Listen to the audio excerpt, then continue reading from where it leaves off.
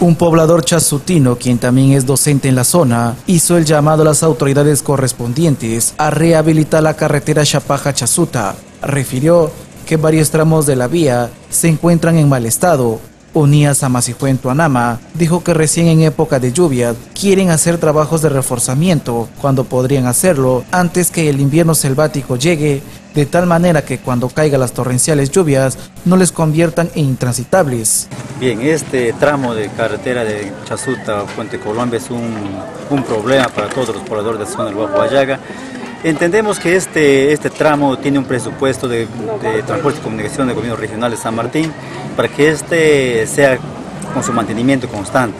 Pero eh, así observándolo nosotros como pobladores, no, no vemos ese, esa acción que hace el gobierno regional en este caso este, eh, transporte y comunicaciones. Mucho, recién cuando hay eh, las fuertes lluvias, torrenciales lluvias, se, esta carretera se pone en pésimas condiciones, recién se manda un tractor solamente para hacernos calmar con una pastillita al poblador chasutino y ahí se cae. Otra lluvia, el siguiente día la misma cosa viene a ser los lodos hasta la rodilla, hasta la cintura, cosa que no puede pasar. Inclusive ha habido algunas muertes ¿eh? cuando ha habido derrumbes, ¿no? Y ha habido varias muertes y en cualquier momento se pueden dar más. Podemos ser nosotros, podemos ser nuestros hijos, pueden ser cualquiera de las personas. Y esto es una preocupación para nosotros como pobladores chasutinos y también como, como, este, como docentes que somos en esta parte de la región de San Martín. Nos preocupa porque constantemente nuestros maestros este, eh, vienen a esta zona y nos encontramos con la gran sorpresa que no podemos pasar. la, la, quebrada de, del Chumí está grande, el sector Matibul está pésimo, lodo está que no puede pasar el carro, es un constante eh, peligro para todos los pobladores que transitamos por esta zona de Bajo.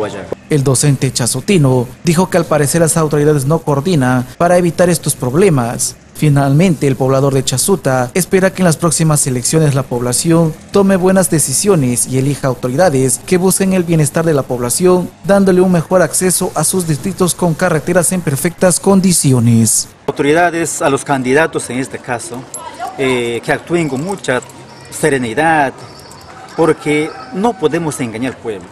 El pueblo en estos momentos está esperando de ellos, de nuestras autoridades.